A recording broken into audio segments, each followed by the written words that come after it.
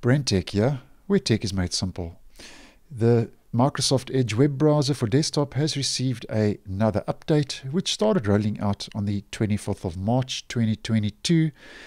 And this is actually the fourth update that version 99, which is the latest stable release of the Edge browser, has received since version 99 rolled out on the 3rd of March earlier this month.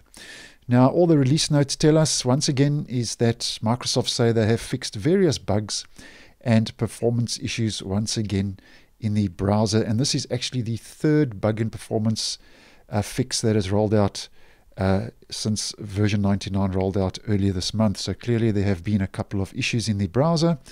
And as always, if you have experienced any problems or issues, just ch ch uh, check that your browser is up to date and we just head up again to the menu to do this. Go to help and feedback about Microsoft Edge.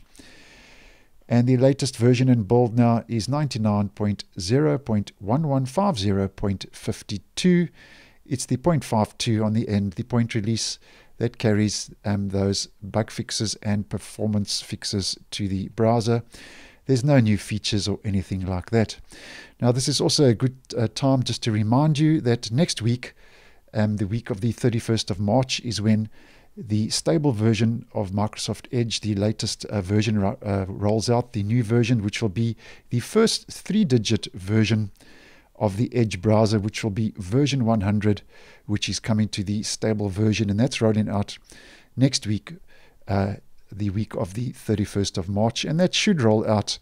Um, normally, they roll out near the end of uh, the week, so the 31st is on the Thursday, so we can expect version 100 to roll out on the Thursday or the Friday of next week.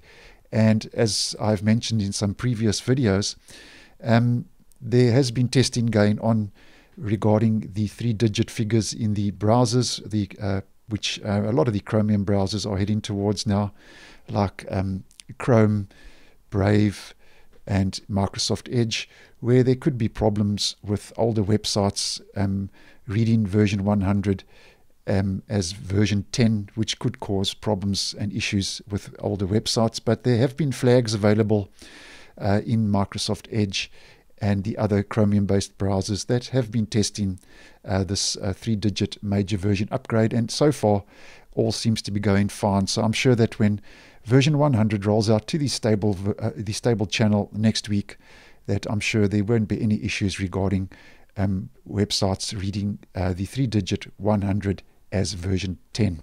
So check your up to date. The latest version now, before we get that uh, major update next week, is 99.0.1150.52. Uh, just fixing some bugs and performance issues in the browser. So thanks for watching, and I will see you in the next one.